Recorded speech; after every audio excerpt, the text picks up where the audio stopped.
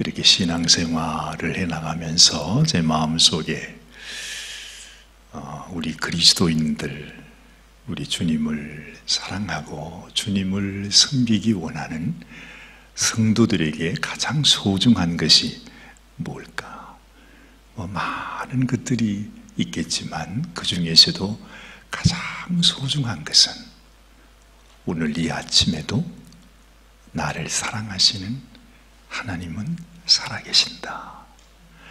나를 사랑하시는 우리 주님은 오늘 이 아침도 나를 아시고 내 심령의 깊은 탄식과 나의 눈물과 나의 신음과 나의 고심까지 주님은 다 알고 계신다는 사실. 그래서 주님이 오늘 이 아침에 만약 정말로 우리에게 나타나셔서 얘들아, 너희가 평안하냐? 너희에게 평강이 있을지어다. 이렇게 주님께서 이렇게 말씀하시는 나의 모든 것을 아시는 주님. 정말 그 주님은 살아계신 나의 주님이시다 하는 그 믿음, 그것이 참 소중하겠죠. 그게 믿음 아닙니까?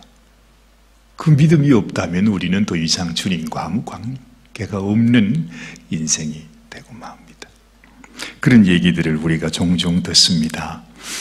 우리가 처음 주님의 사랑을 알면 어느 날인가 모르지만 어느 순간 내가 예수님을 마음에 영접하고 주님의 복음을 깨닫고 주님이 얼마나 나를 사랑하는가 하는 것을 아는 순간 신기하게도 여러분 이 세상이 마치 저 바깥에서 바람에 움직이는 풀잎이 정말 살아서 나한테 얘기하는 것 같고 이 세상이 그동안엔 흑백으로 보이던 세상이 갑자기 총천연색으로 보이는 것 같고 야 정말 예전에는 몰랐던 이 모든 천지 만물이 마치 내 것 같대 내 친구 같대 정말 온 세상이 하나님께서 나를 위해 만들어 주신 나의 집, 나의 방과 같이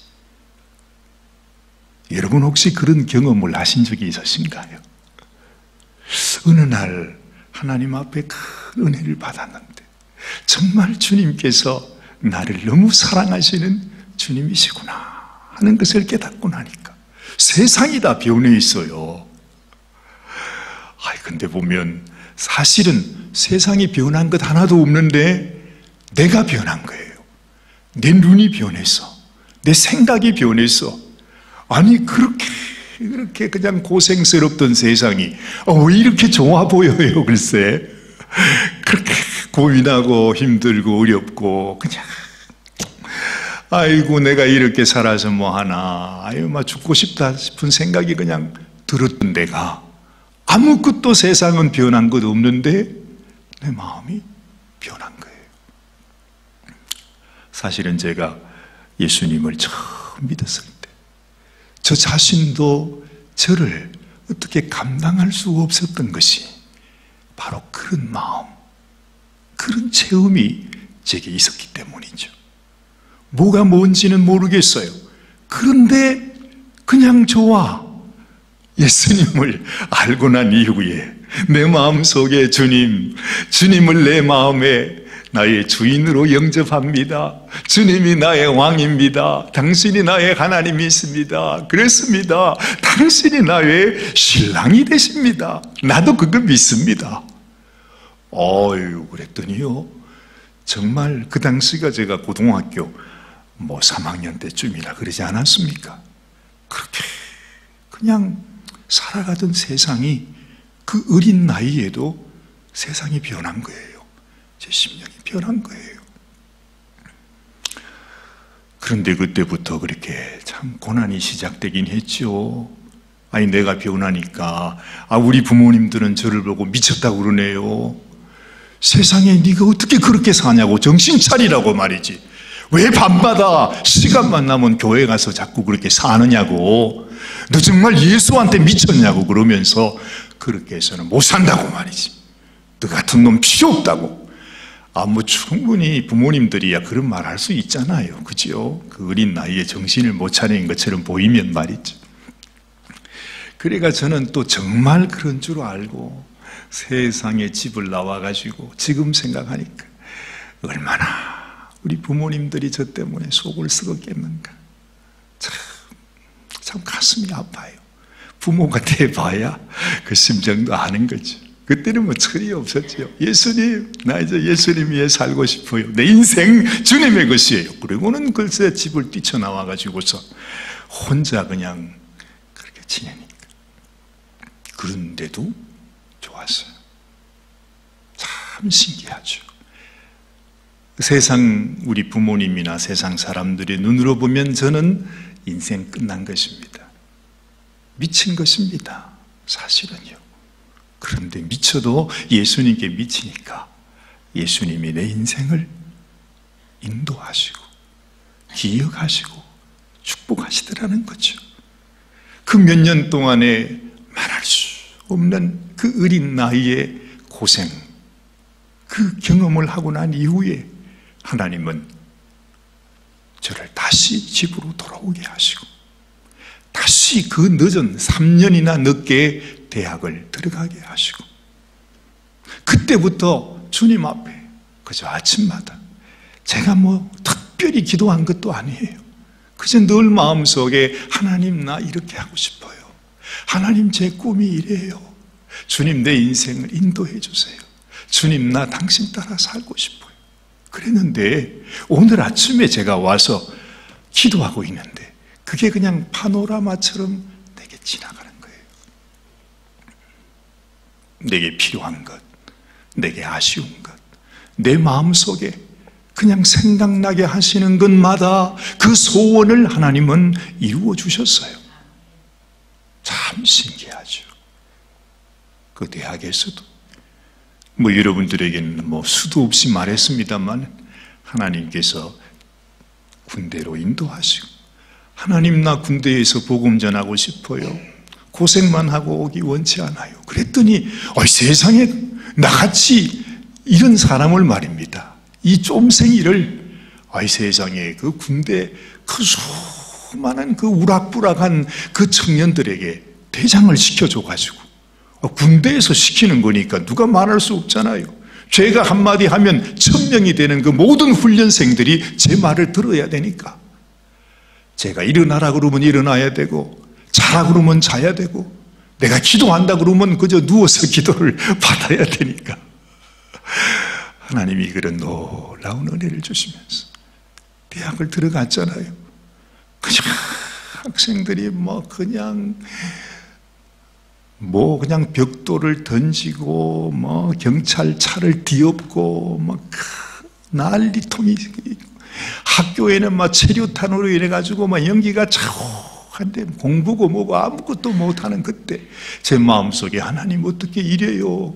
제가 그 군대 생활 다 마치고 군대 생활을 통해 하나님이 그렇게 역사해 주셨는데 하나님 이 학교에서도 하나님의 살아계신 것을 좀 보여주시면 좋겠어요. 그리고 우리 집 앞에 뒷동산에 아침마다 일어나서 뭐 오래도 기도하지 않았어요. 그저 뭐 2, 30분 엎드려 기도하다가 학교 가면서 학교 가면 기도했어. 하나님, 이 학생들을 어떡합니까? 아니, 그랬는데 세상에 그 다음 해가 제가 어떻게 됐습니까? 그 학교의 총학생 회장으로 하나님이 세워주신 거예요. 아무도 생각하지 못했어요. 아무도 생각도 못했어요. 많은 사람들이 정말 이해하지 못했죠. 저 역시도 이해하지 못했어요. 그런데 제가 집에서 잠자고 있는데 세상의 어머님이 저를 깨우시더니 기현아 기현아 네가 너희 대학의 학생회장이 됐단다. 아, 그러면서 얘기하는 거예요. 그러면서 얘기했어요. 하나님 어떻게 하면 좋아요? 그런 세월을 보내면서 주님, 주님 위에 살아야 되는데 했더니 주님이 또 저를 신학교를 보냈잖아요. 나도 거기에서 주님 나 성교지로 가서 복음 전하고 싶어요. 아, 그랬더니 또 하나님께서 저를 우리 정사관님과 함께 이렇게 맺어주시더니 성교지로 또 던지는 거예요. 누가 그걸 알았어요? 아니, 그때 그 옛날에 말이죠. 무슨 아이디어를 가지고 그렇게 합니까? 그런데 교회에서 다 후원을 해가지고 선교지에 가서 그렇게 지냅니다. 그 선교지에서 또 하나님, 나 공부하고 싶어요. 그랬더니 하나님께서 이 미국에 가장 좋은 대학이라고 하는 신학교로 유학을 보내게 해주지 않았습니까? 아, 여러분, 지금 가만 생각하니까요, 놀라운 일이에요. 그리고 사역하는 중에 하나님 나 정말 주님이 원하시는 사역, 정말로 주님이 가장 소중히 여기는 사역, 그냥, 그냥 종교인이 아니라 그냥 예수 이름으로 하나님 이름으로 밥 벌어 먹는 사람이 아니라 정말로 주님처럼 그렇게 작아도 부족해도 못나도 그렇게 살고 싶어요. 했더니 또 생각도 하지 못하게 이 구세군으로 인도하여 주셨잖아요. 제가 무슨 일을 하든지 무슨 큰 일을 하든지 그건 아무 중요한 일이 아니에요. 주님의 마음과 함께하는 것. 제가 왜 이 말씀을 드리느냐 하면 하나님이 나와 함께 하신다는 것. 하나님이 이 아침에도 살아계신 하나님이라고 하는 사실을 내 마음속에 정말로 믿고 이 세상에서 어떤 형편, 어떤 환경 속에 있을지라도, 처할지라도, 하나님이 나를 말할 수 없는 고난의 수렁으로 던져 넣을지라도, 또한 말할 수 없는 생각도 못하는 그런 일들을 만나게 할지라도 항상 주님이 내 인생을 인도해 주신다. 하는 그 믿음을 가지고 있는 것이 얼마나 소중하냐 말이죠. 내가 아무리 목회자로서 날마다 하나님 말씀을 전한다고 하지만은 이것이 나의 좌합이다. 나는 이렇게 먹고 사는 사람이다라고 생각한다면 얼마나 주님 앞에 부끄러운 자가 되겠어요. 지금도 하나님은 살아계셔서 이같이 못나고 부족한 인생을 통해 하나님의 일을 이루신다고 하는 이런 믿음 안에 살아가는 것이 소중해요. 바리새인이요 성전에 들어오셔서 이제 죽음을 며칠 앞두고 마지막으로 그 예루살렘 보기만 해도 눈물이 그냥 흘러나오는 주님이 그 심정을 가지고 그 백성들에게 복음을 전하고 있었어. 이제 마지막 순간이에요. 정말 이들에게 하나님의 마음, 하나님의 복음, 내가 너희를 구원하기 위해서, 너희를 이 사망 가운데 건지기 위해서 왔노라 하는 것을 전하고 있었어. 하나님 사랑의 절정 아닙니까? 하나님이 주시는 그 메시지, 하나님의 그 사랑의 마지막 그 절정 가운데 바리새인이 예수님을 찾아와서 묻습니다. 당신이 도대체 무슨 권세로 이런 일을 하느냐고. 예수님이 아무 말을 하지 못했어. 나도 너희에게 하나를 묻겠다. 세례 요한의 세례가 하늘로부터냐 사람으로부터냐? 그들은 당연히 아무 말도 하지 않았어. 세례 요한이 하나님으로부터 오신 것을 믿지 않았기 때문에. 하나님이 보내신 엘리야 하나님이 그 백성을 살리기 위해서 너희가 먼저 돌이키라고 회개해야 된다고 내게로 오라고 하시는 그 메시지를 전하는 세례 요한이 하나님에게서 오신 사자라고 하는 사실을 그들은 믿지 않았습니다. 그러니 그들에게 오신 하나님, 그들에게 말씀을 전하시고 있는 하나님의 아들 예수님을 믿는 것은 만무했죠. 그들은 알지 못했어요. 그들의 눈앞에서 하나님의 복음을 전하고 있는 그 예수님에게 당신이 무슨 권세로 이 일을 하고 있느냐? 정말 기가 막힌 그 말을 들으면서 예수님의 말씀 나도 너희에게 할 말이 없다. 가장 소중한 것. 지금도 나를 사랑하시는 하나님. 지금도 이 말씀을 통해서 이 하나님의 절절한 마음, 이 예수님의 정말 그 말로 우리가 표현할 수 없는 주님의 그 사랑의 메시지를, 생명의 메시지를 전하고 있는 이 예수님의 권세를 내가 인정하는 것. 그리고 이 말씀을 지금 주님이 전하고 계시는 이 말씀을 내게 주시는 하나님의 말씀으로 내가 믿는 것. 얼마나 소중하겠습니까? 우리가 날마다 날마다 읽는 이 말씀. 지금 이 말씀이 내게 주시는 하나님의 음성이구나 하는 사실을 믿는 믿음. 그것이 없으면 우리는 하나님을 뵐 수 없습니다. 하나님을 체험할 수도 없습니다. 하나님의 음성을 들을 수 없어요. 우리는 하나님 앞에 받아들여질 수가 없는 거예요. 지금 내게 말씀하시는 하나님을 믿지 못하고 그 하나님의 음성을 내가 듣지 않는데 어떻게 마지막 심판날에 주님께서 나를 영접할 수 있겠습니까? 당연히 너희가 누구냐? 아니 평생 동안 너희가 내 이름을 불렀다고 나는 너희를 아무리 아무리 생각해 봐도 너희를 모르겠다. 미안하지만 너희는 나의 백성이 아니다. 그러신다고 하지 않았어. 누가 하나님의 백성입니까? 누가 주님의 아신 자입니까?